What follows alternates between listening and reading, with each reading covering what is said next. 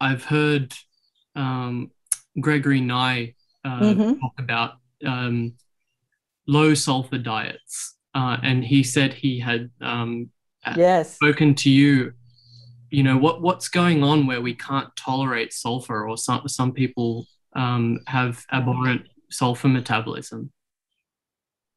Right, and so that's really interesting. So I had people I, when I was I started, and I you know in the early days I was saying, "Oh, you got to eat a high sulfur diet," and I was kind of broadcasting that message. And I would get email from people, "I can't eat sulfur," you know, mm-hmm. "I can't eat garlic." They're like, "I get sick," and so I, that made me step back and think, "Oh my God, what's going on there?" You know, so it was something that I learned about early on. There were people who had sulfur sensitivities, and I started reading about it, and I found out about, for example, sulfite oxidase.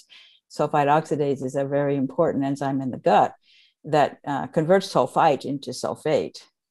And sulfite oxidase, I suspect, is one of those enzymes that's getting disrupted by glyphosate.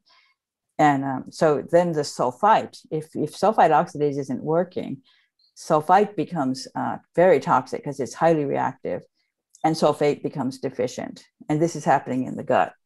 Um, and so I, um, there's a, I guess in my in my book, I write about the various enzymes, the, even the enzyme that activates the sulfate, for example, it turns sulfate into something called PAPS, phospho adenosyl phosphosulfate, I think, PAPS.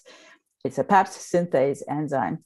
And that enzyme has critical um, glycine dependencies. You know, there's a, there's a glycine mo- motif that fits extremely well with my glyphosate susceptibility model.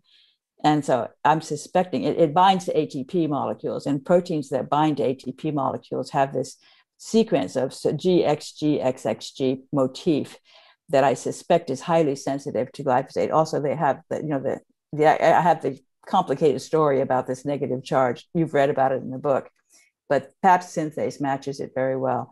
And PAPS synthase is essential for converting sulfate into an activated form of sulfate. It's kind of a blend of an ATP molecule with sulfate. It binds to two ATP molecules and uses one of them for energy and uses the other one as the substrate to make PAPS. So it's going to consume two ATP molecules, but it has tremendous potential, I think, for glyphosate disruption because of that.